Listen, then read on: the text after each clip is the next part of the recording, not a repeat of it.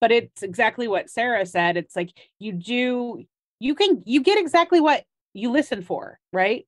Yeah. So if you are if you are looking for what you don't have in common, that is exactly what you will find. And if you are looking for what you do have in common, that is exactly what you will find.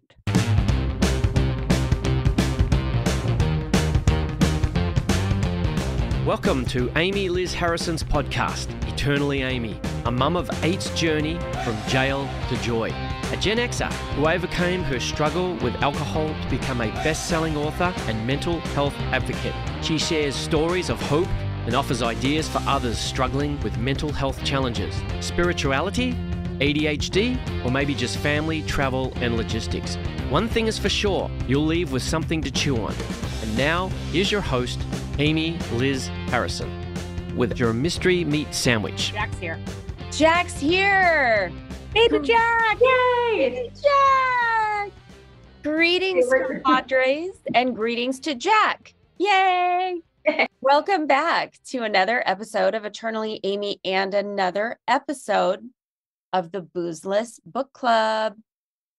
Today, I have with me my three lovely lady friends, which actually sounds kind of weird. I didn't mean it in a weird way, but I don't know. We're not They're we're not in a throuple.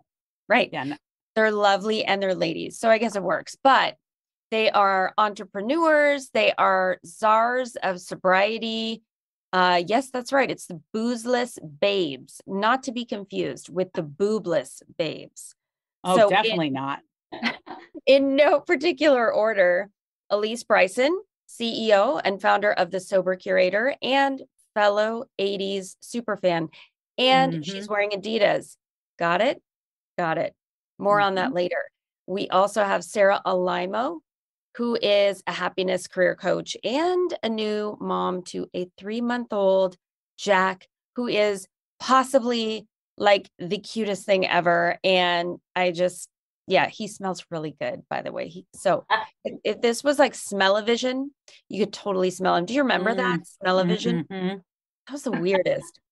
Okay, we also have yeah. We also have um Carolyn Bunn. She is a marketing expert and a travel blogger. And so guess what? She's traveling. She's not here today. Um, and isn't she down under? she's Amy? down under. Mhm. Yeah. So good on you, mate. Good on you, Carolyn. We'll catch you next time. Uh, so in summary, you've got Alysse and Sarah and Jack, of course, and yours truly today. So what can I say? But um, oh, and I'm wearing a turtleneck, which is a little constricting. So if you see me kind of like, I just I'm not used to turtlenecks, I guess. I'm kind of like. It looks But, really um, nice though. It looks really nice, Amy. thanks. Mhm. Thank you. It's, it's you can not everyone can pull off a turtleneck well, right? Because of face shape and neck size, but it's working for you. I will take that all day. Mhm. Thank you so much. Thank you. Okay, so we're going to move right into the chaplain's chat because we don't need a mystery meat sandwich because we have so much to talk about as per usual, right? So I want to give you guys a little bit of background first before I like um launch into the blurb. So basically, what happened was we were doing the refocusing my family book uh, club last month. And, um, you know, September being National Recovery Month, I knew that I wanted to do something about addiction and recovery. And so I've been trying to, you know, announce the next month's book club book ahead of time so people can order it if they want to read along. But uh, that day that I went online, so right before on the line, right before we recorded Refocusing My Family, I wanted to get the title right of the book that I had picked and make sure I had all my ducks in a row. And then I was like reading and I thought, oh my gosh, what's that? Long story long, uh, the book was not actually published yet and it won't be published for like another little, little ways. And so I guess it was a pre order page or something. So then I had to make like a game time decision. I had to pivot. And again, I wanted to do something that was recovery focused. So I did a really quick Amazon search and The Gangster's Guide to Sobriety popped up. And who doesn't love the title? Who doesn't love it? if you know me well, you know I'm a huge 90s hip hop fan. And so I assumed, falsely assumed, this was going to be a book about, you know, being the boss of your sobriety or um like taking your sobriety by the balls eh, or something like that. And uh yeah, that's not what it was about. So anyways, with that little intro, I would like to read you the blurb super quick so everybody kind of gets the gist. So, Richie Stephens, this is the author. Richie Stephens is an actor who often plays hardened gangsters and criminals. This is easy for him because he was a drug trafficker, kidnapper, drug addict, alcoholic, and all around criminal himself. His twisted life turned and in harrowing self destructive adventures that took him from his native land of Ireland to San Francisco, Australia, and finally Los Angeles. And mm, I don't know what that word says right there because it looks like it's a big typo. Anyway, the gist of it is he had all these problems moving. And so he just kind of kept running to new and more exotic locations because geographicals, right? So a hard and painful realization eventually hit him that, you know, there comes a point in which he's about to take his own life. And the reason there is a story to tell is because he did not. Instead, he found help and in doing so found himself. More than that, he found that help comes in different forms, and oftentimes it just takes the right thought to hit at the right time for it all to make sense. The Gangster's Guide to Sobriety chronicles his descent into the abyss of crime and dependency. So his story is sprawling and epic, and the key to the book is the same to his recovery the 12 steps. So, with his own flair and original understanding of life in the world, he followed the 12 steps to find the clarity he needed to save his own life and evolve into a positive force for others. As Richie says, hopefully, if people see that someone as effed up as me could change their life, then there's hope for anyone. So, with that ado, I will ask you guys, with that ado, without further ado, that's what you say, ah, right? Hmm. I'll take your ado. Okay, good. Well, I do. yeah, you do. Uh, okay, what surprised you guys about this book, if anything? Well, I oh, go go ahead, Sarah. Go ahead, Sarah. I too thought it was going to be just how to do the steps like a gangster, like how to be awesome in sobriety. So I was really excited when I started reading it. Um, I love this lovable, hardened criminal because I could relate to him a lot. Awesome. I'm I uh I will always buy a book based off the cover. Like right? always, right? So so I'm just I love packaging. You put it in a pretty package. I, I don't need more details than that, right? So I took the headline, The Gangster's Guide to Sobriety, My Life in 12 Steps. I was like, gosh, this is just going to be like the male version of me. It's going to be amazing. And then the black and the yellow, and it had like some guns at the bottom, illustrations, and with a little coffee cup in the inside. I was just like, super smart, super great. This is totally going to be, I'm going to be really excited about the book this month. Um, because I was, I didn't love the book last month. It was okay. It was okay, but I didn't love it. I mean, we set the stage, you know, we started this club and we started with Mean Baby with with Selma Blair. And I was just obsessed with that one. So I kind of thought like I'm just going to be obsessed with every book this whole next year that we're doing this club. That's not what's happening. yeah, sorry about that. Uh, yeah. But you know, I do love showing up and talking with you gals. So I know. So I'm still having the best time. I'm just not maybe loving the books in the way that I thought that I would. Yeah. No, I totally get that. I totally get that. And um yeah, that does actually kind of just blend beautifully into the next question, which is really do you ladies feel that as a sober woman from the east side of Seattle, hmm. that you could identify with Richie? And if so, how? Or if not, why not? Well, I think it's one of the biggest lessons that I've learned coming into recovery is, you know, looking for the similarities rather than the differences. I remember my very first meeting looking around and seeing just a bunch of salty old men thinking, all right, guess my life's over. Like these are not my people. But obviously, you know, if I met Richie on the street, I wouldn't think we had a lot in common either, but it just looks a little bit different. I definitely felt a kinship to him. mm-hmm. Yeah. Mm-hmm. Yeah, very similar. Uh, you know, you just said, you know, we're East Side ladies of Seattle, which if you're in any other place of the country, you may not know what that means, but it's a nicer side of the city, right? And but when I got sober, uh, my very first time I went to a 12 step meeting was at uh, North Seattle Alano Club, and it was it was gritty, right? It was gritty, uh, and I walked in wearing a really rundown, juicy couture, uh, turquoise uh, velour sweatsuit, and uh, admittedly, I was missing some rhinestones off my butt, right? Um, and I looked around. It happens to the best of us. Sometimes we lose a little sparkle. Um, and I looked around and was like, uh uh-uh, uh, nope, these are not my people. Right. And so I walked out and was like, never again. I'm not doing that. And, and, it was not very long later that I, I, I found myself back uh, in in in the in the rooms but it's exactly what sarah said it's like you do you can you get exactly what you listen for right yeah. So if you are if you are looking for what you don't have in common, that is exactly what you will find. And if you are looking for what you do have in common, that is exactly what you will find. So true, you guys. Like that's what I thought too. I thought um it just kept reminding me of the principles before personalities um phrase that were taught in the 12 step uh, land world. And you know, I was kind of similar. I my first couple meetings, I just thought, I don't even know, no, nope, not for me. And um, I just thought I was better than everybody else, to be totally 100% honest.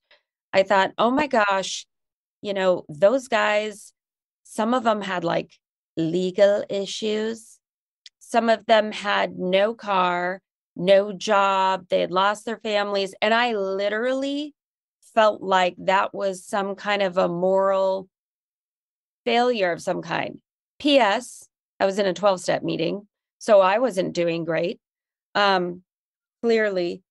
And it took me a while to really understand what that meant the whole idea of looking for the similarities and not the differences, and then principles before personalities that one is kind of carried throughout my sobriety thus far because um you know if you go to a 12 step business meeting uh you see some folks so, uh, some um i'm going to call them um you know jubilant folks vibrant very expressive and um very into what they believe about what they should do about different things like the wording of the preamble and the coffee pot um, cleaning situation and all these different things.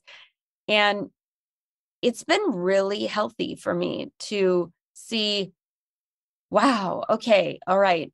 Um, I don't agree with this, that, or the other thing, or I think maybe someone's being a little anal or something, but you know, do I want the program to be around there for the next suffering alcoholic? Absolutely.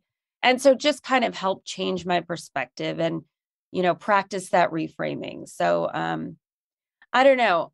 For me personally, um, I did not relate to this book a whole lot, particularly the what it was like part when he was going through the um, discussions about all the different um, adventures he had and nefarious characters that he met and I, I struggled with that.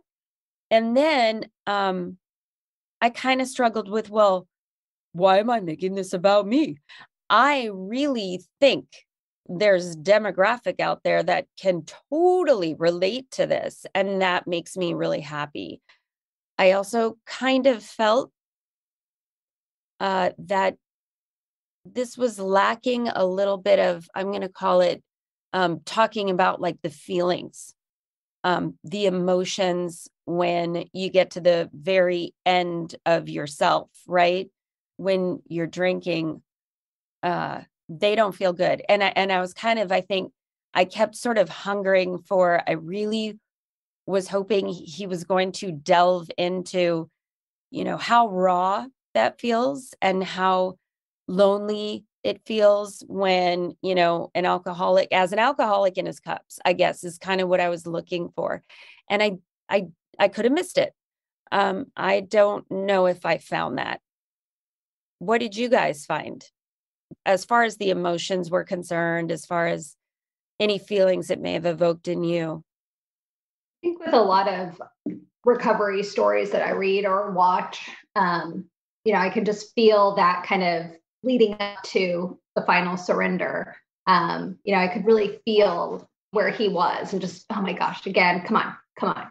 Like just that that pit in your stomach. Um, I just remember reading that. I read this book right away when we um, first decided on it, and I was reading it on my Kindle predominantly around like three in the morning while I was feeding Jack. So it was it was just kind of a funny um, you know juxtaposition there of being in this place with this author and also feeding a baby. Um, it brought me right back. I you know knowing um, that the uh, the screenwriters who co-produced the show uh, from Silicon Valley. Have either of you seen that show? Mm-hmm. Yeah. So I thought that show was hilarious. Brilliant. Right? So I I thought that I was gonna think this was hilarious. Right. I did not. No. Same. And and and that's one of the things, quite honestly, I love about sitting in church basements is that we can laugh at some of the terrible things that happened uh, throughout our drinking careers um and i say career because i really used to say i was a professional drinker like i'm not an alcoholic i'm a professional drinker for the record nobody ever paid me to drink right mm. i mean i did date a lot of bartenders because obviously free booze yeah it was the perfect perfect uh, per- situation for me but so yeah i went into this book with a lot of expectations mm-hmm. without uh, that were just purely based off of packaging names, branding, you know, assumptions. Mm-hmm. And it just, it, it just, it fell, it fell far below for me. Mm-hmm. Mm-hmm. But it wasn't, um, it's not a big book. I mean, no, no pun intended. Uh, it's not meaning the page count. It's not a very, it doesn't take very long to read. It's a very, it's a pretty quick read. It's under 200 pages. Um, so it's not like it was a huge time commitment either. So what did you guys think about his community, like going into like his meeting with his his people?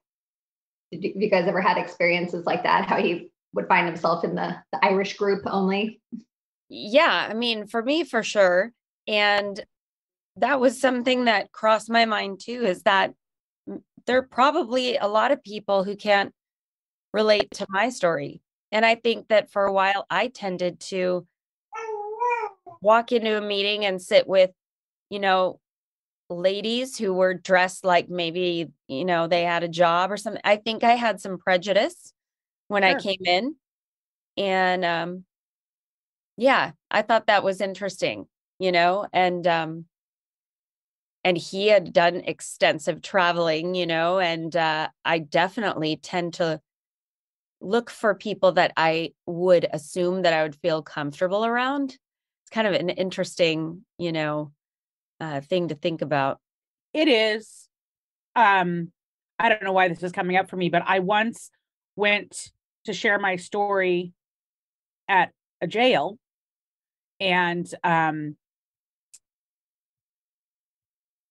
a male jail. I don't I can't even remember why I was there. Um but I do remember after sharing my story, uh, a gentleman came up to me and said, wow, I just identified with so many parts of your story. And I was like, hmm. you did? Like, I mean, I'm glad, but you did?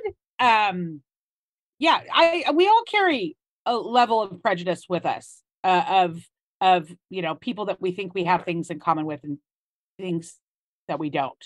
And I don't mean to derail this conversation and talk about prejudice that, that exists in the world. And then the other side of that would be uh, going to a women's only meeting.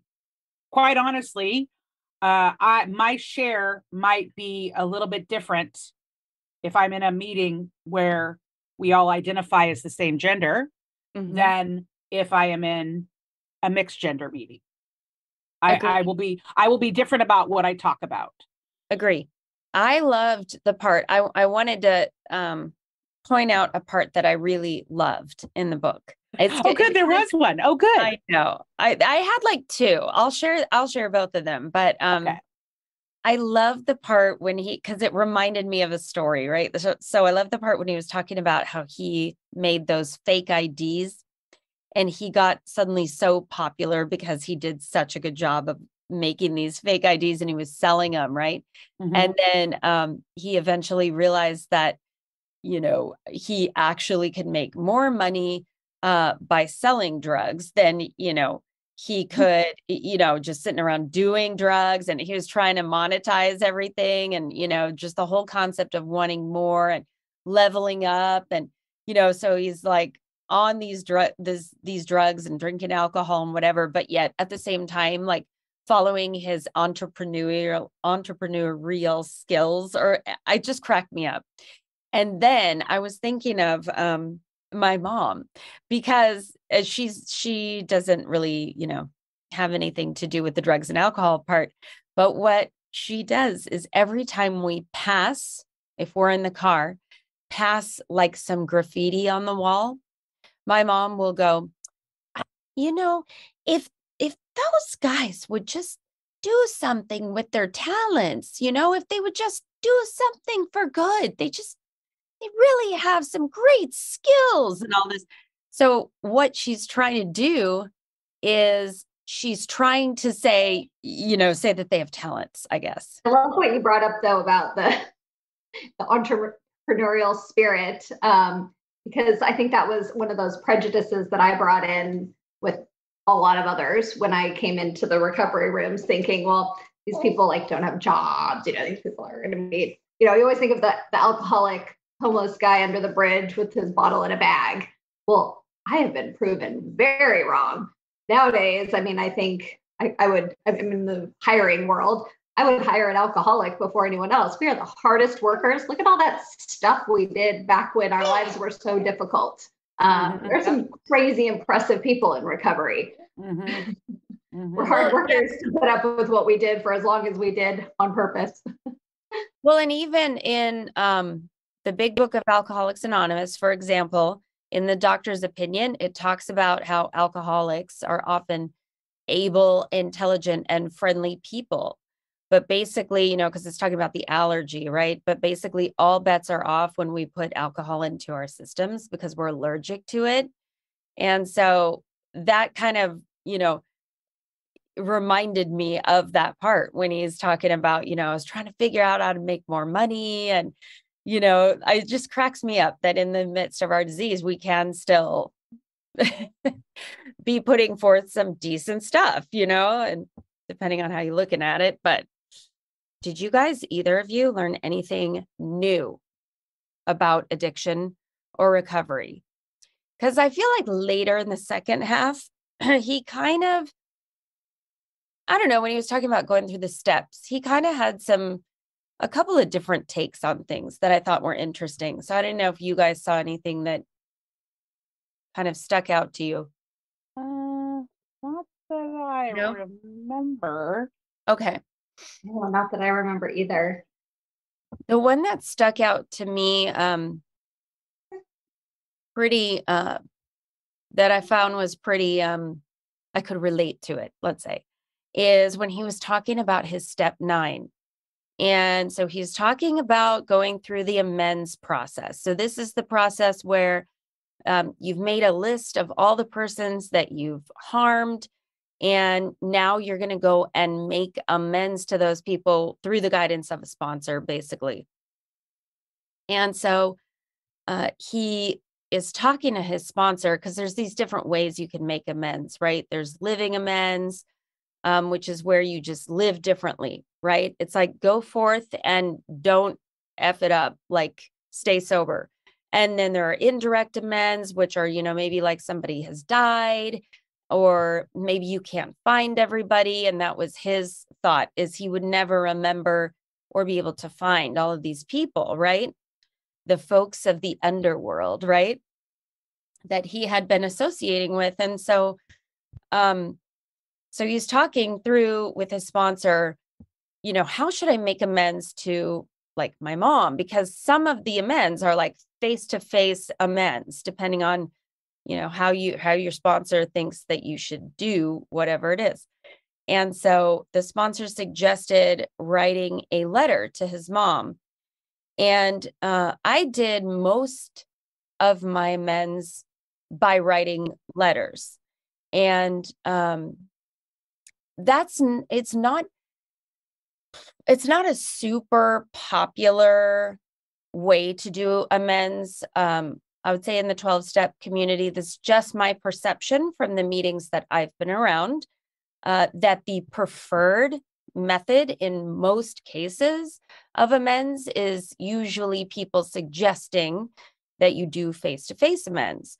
So, you know, and I have like a thousand reasons why I prefer the letter option, but primarily because if I get in front of somebody, I will try and justify, like I just would, because my ego gets in the way. And so I prefer a letter because I also don't want to just sit down and bombard somebody with something they may want to process, not in my presence. And so, um, anyways, uh, I loved that his sponsor suggested writing the letter in that case. And I love also that I personally have found the 12 step program to have a lot of fluidity to the way that these steps can be done. Because I personally feel like, um, you know, I've seen a lot of different things work for a lot of people. And I feel like that shows the strength of the process, you know, when we can focus on sort of the spirit of the steps and not so much, you know, get involved in the letter of the law type thing and doing yeah, the dogma around it. Yeah. Dogma. Yes. Yeah. So that's interesting. You know, I don't know if we've ever, I don't know if I've had a conversation with either one of you in depth about amends making because we all met each other later on, like not in our early years, right?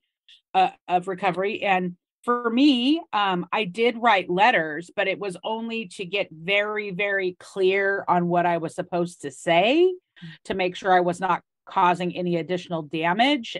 And then I was instructed once I was, I had the letter and I'd gone, made any revisions on it that I needed to after reading it to my sponsor. Um, at that point, I set an appointment to go. And I did take the letter with me, but at that point, it wasn't more than a page. It was actually, um, she told me to keep my flowery vocabulary to a minimum and not get into hmm. details, but talk more broad like you know instead of saying all the ways that i lied cheated and steal stole it was i didn't go into the, any of the details it was like i was dishonest i was this i was that you know and then going forward i will be this i will be that and uh, did i leave anything out and um uh, and so I did write letters, but then I also I did a combination. So I did letter writing, and then once I had the green light that that I had clarity and I had the wording right, then I was to go and make my amends in person. And I could read from the letter if I wanted to or not. And I kind of kept it. I kept it as like notes, but didn't didn't read it exactly, if you will, just so I I stayed on script. Mm-hmm. What about you, Sarah? How yeah, how was yours? Actually, the exact same, and I haven't heard all that many people do it that way. Um, and yeah, it was so that I stayed on track. Um, I did run it past my first sponsor before I met with people. Um, and I really appreciate that because it can be, you know, such a, a scary situation. And I had said I'm sorry to all those people so many times that that didn't mean anything to them. So mm-hmm. to come in with my letter. And I did end up usually reading them. And then we talked a little bit more because I was so nervous in, in meeting with most of these folks. Um, and, you know, I also kept the letters of the people that I didn't get to meet with. We don't mm-hmm. always connect with people again. It doesn't always make sense to see them again, but I at least wrote the letter. Um, yeah. I've, in certain cases, I decided not to send the letter. So I don't think I actually sent any. But you know, she would just have me. We, we, I would share with them what I regret. I um there were some and there were some that it was very clearly I I wasn't to make amends to because I would there were things that people didn't know at all that I had done to them and it would have caused more damage. Uh, which kind of sucks, right? Because there is that, ooh, if I apologize now, I feel better. Sorry if you feel like shit, but now I feel better, which is not what amends are. That's not it, right?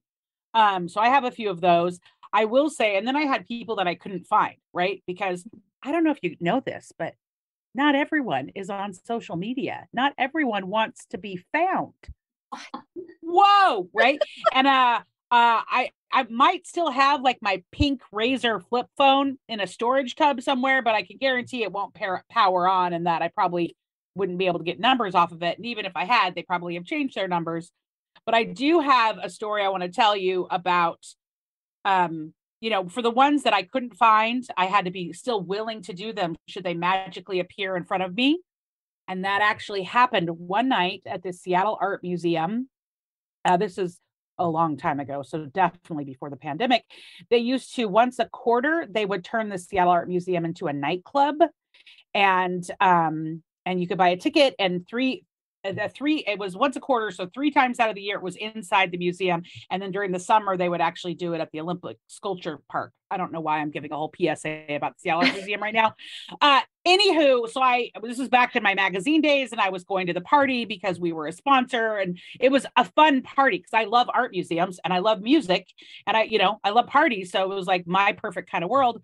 And i'm in there uh, with a colleague and right in front of me walks an ex-boyfriend mm. Israel. Oh, Israel was so so beautiful. Uh, side note, I met him at the Summer Jams KUBE 1993 Tupac concert. And I think this is on theme because we're talking about it's totally on theme. And um and I hope we get to Coolio here in a minute. But uh yeah. so Israel walks right in front of me and I had searched for him online. I had searched, you know, try, I had used one of those like find people services where you can maybe find their phone number or whatever. Could not find him, could not find him. So I could tell my sponsor with a clean conscience, I tried, I could not find him, but the letter is ready to go should he ever magically appear. And then there he waltzes right in front of me at this event, right? And he was there because the gal that he was dating at the time was like one of the models that was wearing some crazy costume. You know how they have those cool parties, whatever. So he came up and he and it was like, oh my gosh, oh my gosh, we hadn't seen each other in a very long time. And but it was also not I it was not the appropriate place to make amends, right? You also don't just like surprise people. So I did say, you know, um, I actually would love to uh, an opportunity to grab a cup of coffee with you in a week or two uh, if if you're open to it, could I, you know, get your number? And he he enthusiastically agreed. I'm sure he thought that meant other things based off of our history together, right? Um, and so when I met him, yeah, a cup of coffee, air mm-hmm. quotes. Uh-huh. And so when I met him a couple weeks later, um, and uh, and reached out to him and explained the nature of why I needed to set this meeting, and went over everything with him. Um, he was kind of floored. He didn't he didn't really it never the things that I was making amends for had he I had hurt him certainly and I won't go into all the details of what and how and why but I had mm-hmm. definitely it was I had hurt him and in a pretty a pretty pretty bad way and he and he really appreciated the sincere the sincerity of me owning it after all these years later.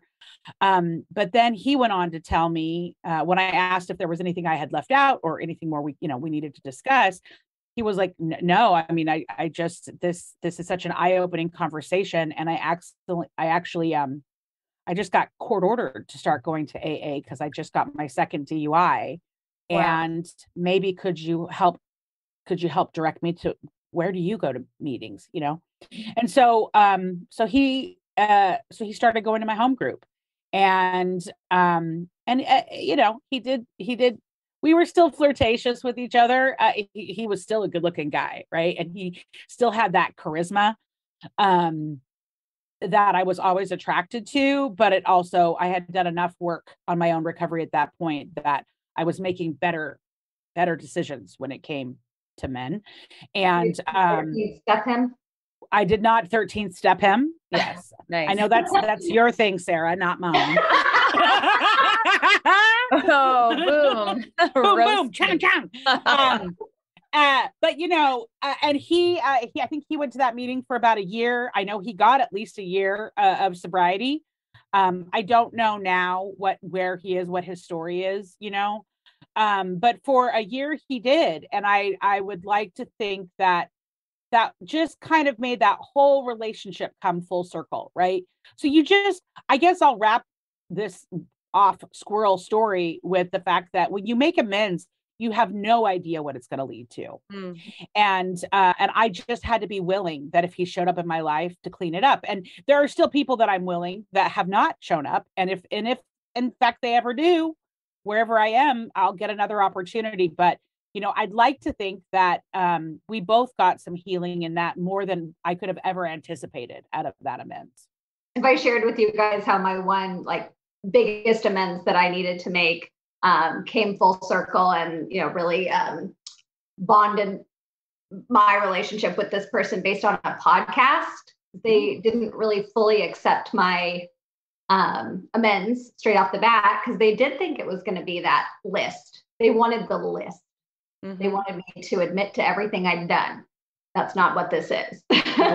and then um, they listened to a Dax Shepard episode where he was talking about the steps with his wife mm. and it clicked and I got a text message. I get it. I accept your amends. Thank you. Wow. Oh, wow. Right? goosebumps. Right? Me too. also, I love Dax Shepard. I do. I know. I kind of think they're a dream couple. I mean, I'm sure they're not perfect, but I just kind of love them both. I do too. And I'm not sure. just saying that because I'm a Frozen fan. Okay. uh, it's Veronica Mars all the way. But um, yeah, that's a great story, Sarah. That's a really great story. Yeah, totally is.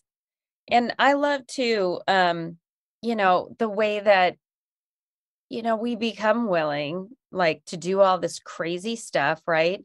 And then even bringing it, looping it back a little bit to the book um, he was talking about, Richie was talking about when he made his amends to his wife. And, you know, he decided that, you know, he's going to say to her basically, or share with her, or, you know, basically communicate that he was no longer going to cheat on her. Um, that when he got sober, that was it. He was not going to cheat on her anymore. But my point is like the path gets narrower like he knew that doing shady stuff, like he knew that was going to affect his peace of mind and, you know, risk his sobriety and and it's it's so true. It's like we become willing to do some crazy things and I love that. I think that's such an amazing part of 12 step work is like being willing to do whatever, being willing to be willing, even, right? And my husband, P.S., never wanted an amends from me. I asked several times, can I sit down with you? And and these are like, you know, a couple years apart. It wasn't like I just sat down, you know, over a week and said, "Hey, is now a good time?" And he did not want an amends. And I think that and he's also a repressor like he likes to he would readily admit he stuff things stuffs things under the rug that he doesn't want to deal with um, but the deal is is that um, you know he just wanted me to live differently that's what he yeah. wanted and my words didn't mean anything anymore at that point mm-hmm. and so um you know everybody's different i guess like you know and and i had an amends that didn't go very well, but I didn't know that it didn't go well until later. And so, you know, all these different things happen, right? We we bump up against these people and we just do what we're instructed to do and we do our best and you know, we leave the results up to God or your higher power cuz we don't control that part, you know? Yeah. I I have to tell one more amends story, and I, am sorry it. if it's a repeat for for either of you, but maybe a listener surely hasn't heard it, um, unless they've hung out in the same church basements I have. And that was I was a klepto. So I did I did really relate to the story in the sense that I stole things. I stole a lot of things, right? And uh, I just like to steal. I like to take things that aren't mine. And I would do it with the um this was how I would reason it. I would be like, well, if it's an item on the bottom of my shopping cart and the the store checkout clerk doesn't see that it's on the bottom of my cart and doesn't ask me to put it up and ring it in, that's their job for not that's their fault for not doing their job. Therefore, it's okay that I take it out of the store without paying for it. What the hell? right um and so i had to make a lot of financial amends to michael's joann's fabrics target macy's like a lot of financial amends uh, but the very first one, you never forget your first of anything, I think. And so the very first financial amends I went to make was at Michael's. And I I had gone over the instructions with my sponsor. I was very clear. I had figured out what I thought I had, you know, the dollar figure was about $75, which is pretty low actually. Mm-hmm. And um, I walked up to, you know, a, a woman wearing the little Mike, Michael's apron. And I was like, my name is Alysse. And, you know, I'm a member of this program. And um, a couple years ago, I, I took some things from uh, Michael's without paying for them. And I, I would just, I would like to rectify that and, and make it right. I'd like to pay it back. And she just looked at me, didn't blink, didn't blink. She was like, okay, I'll see it cash register three. Wow. And I was like, and I didn't, I, this was my first experience. So after that, I didn't know that most people are like, you want to do what? Right. You know, most people don't know what to do with you. They're like, I don't even know how to deal with that. Right. Yeah. Um, but she was like, yeah, I'll see you at cash register three. And I was just like, oh, wow. I guess a lot of people steal from Michael's. And um, and we got up there and she was like, What did you take? And I was like, This is what I took. And it was from this department. And she was like, How much was it? I was like, I think around $75, you know? Um, and I know exactly what I took because at the time it was actually still hanging on the wall in my living room. Mm. It was a it was a floral print, like fleur de lis image illustration, beautiful with a black frame. Mm. And um and so she rung me up and I gave her my cash and she handed me a receipt and I lost it. I just, you know, just started just sobbing. Oh. And she just was like, have a nice day, you know? And I went home and I taped the receipt on the back of the picture. Um, oh. And I have to tell you what I recognized after that moment was up until that moment, every time I looked at that picture, which was every day because it was in my living room, subconsciously, I knew that's not mine. I didn't pay for that. But mm. now I knew I paid for that. I Ugh. Paid for that, right? And I don't have it anymore. I actually sold it in a garage sale. Uh, but but it was yours I, to sell. It was my it was mine to sell. It was mine to sell. And um and and I don't steal from Michael's anymore right and that's the power of making amends in a proper way it's not just it's not about apologizing that oh i did all this bad stuff ooh i'm sorry right um it's i'm not going to have that behavior anymore and i tell you what you make enough amends to places like michael's and target and macy's it's embarrassing it's humiliating you know to walk in and be like i did this.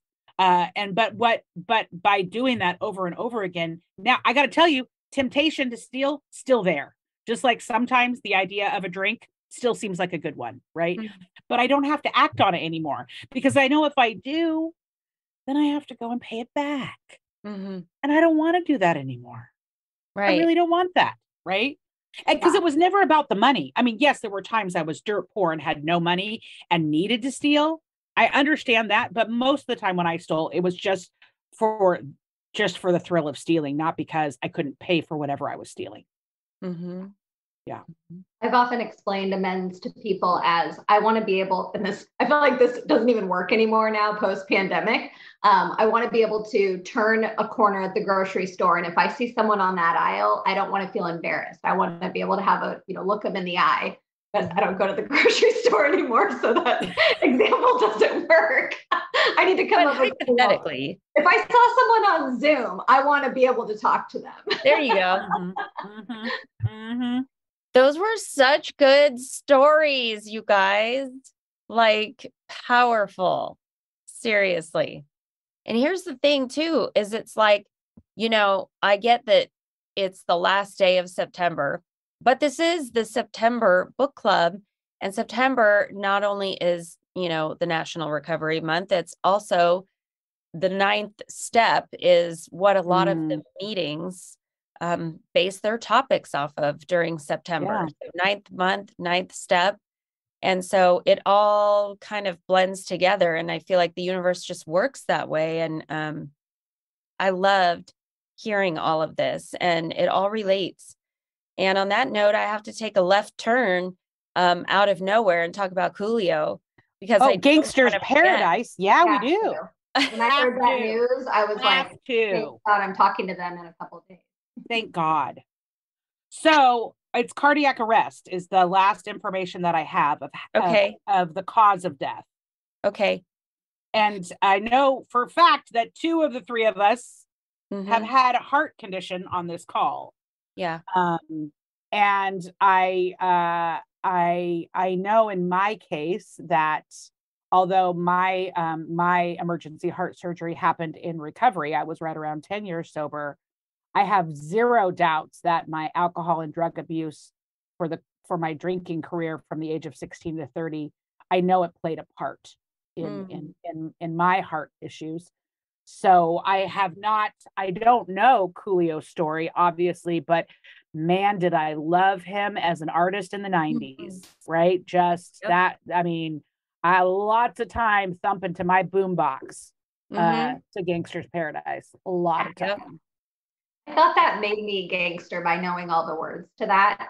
A hundred percent. My little, you know, Orange County town that I grew up in, that gave me some street don't, of course it does. Well, um, I was, I sent Alysse this text on, I guess it was the day or whatever, and it was yep. like a picture. It was a screenshot of a tweet, and I was just like, "Oh, the fantastic voyage is over," because that is my favorite Coolio song, and mm-hmm. to this day, anytime that comes on, it's like it's as if someone is I don't know, playing YMCA at a wedding and it's like a wedding full of people our age and north and like the whole tone of the room changes and all of a sudden just everybody's dancing that's how it is for me in fantastic voyage so well um, there are certain songs like that right that yeah. that whether it's you know Kris Kross jump Yep. Or it's naughty by nature, OPP. There are certain songs that it just when they come on, like it every, people it just that brings people together i do think um the new macklemore's newest song maniac i gotta mm-hmm. say didn't love it the first time i heard it by the second time i heard it i was like I, I i like the beat third time i heard it i was like kind of growing on me watch the music video now it's like on repeat i love it and i feel like that's going to be a song for me in the future that will bring me up out of my chair but you're right coolio um, great, great contributor to the 90s music scene, without a doubt. Without a doubt. Without a doubt. And on the, the cardiac arrest note, I must say, you know, my whole, uh, not cardiac arrest. I don't know why I said arrest. Maybe I was thinking about, yeah, uh, I don't know, gangsters and the life of crime and all of that was presenting itself, but cardiac issues. Okay um, I was thinking about my own story and how I actually struggled with my ego during that whole time because I was afraid, because this was like in 2018, 2019 for me.